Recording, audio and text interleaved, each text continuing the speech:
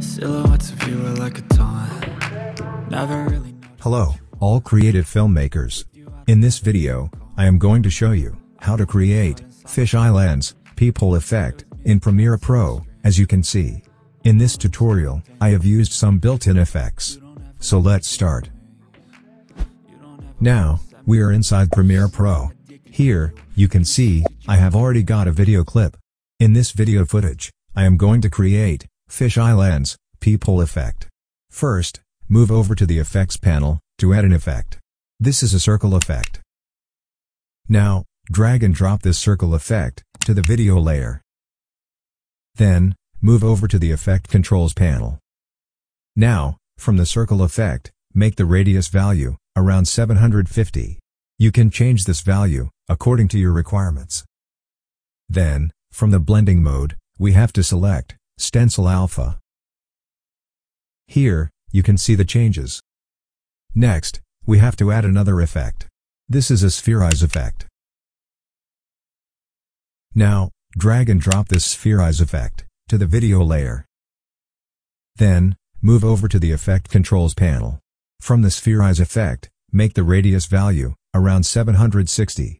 You can change this value according to your requirements. Here, you can see the changes. Now, we have to make the video footage a little bit blurry. That's why, move over to the Effect panel to add an effect.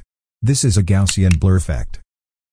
Now, drag and drop this Gaussian blur effect to the video layer.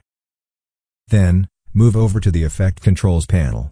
From the Gaussian blur effect, make the blurriness value around 130. You can change this value according to your requirements. Now, we have to create a circle mask. Now, from the Gaussian blur effect, we have to click on this circle mask icon. Now, extend the circle mask a little bit.